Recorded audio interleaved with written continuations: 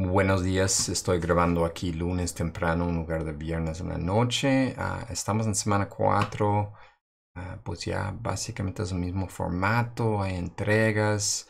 El video estoy haciendo ahorita, aquí va la, tarea de la semana. Ah, el papel de facilitador de, de aprendizaje invertida.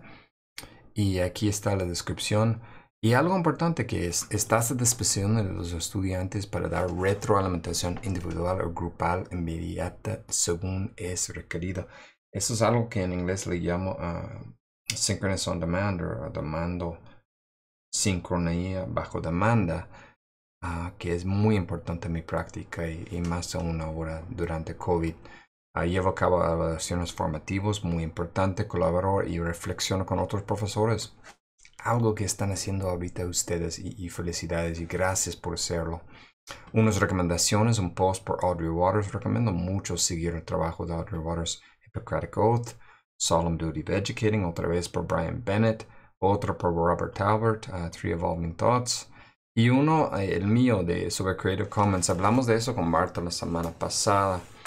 Y, y para mí es muy importante que estamos construyendo a, sociedad y, contribuyendo de una manera abierta. Entonces hablo sobre lo que es Licencias Creative Commons.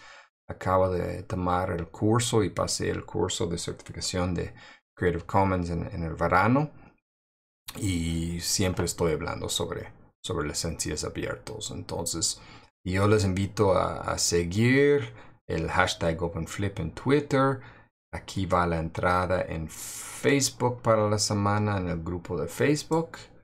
Ok, en semana 4 vamos a hablar sobre su facilitador profesional. ¿Qué opinas? Tenemos varios likes, etcétera, pero adelante en compartir ahí, por favor.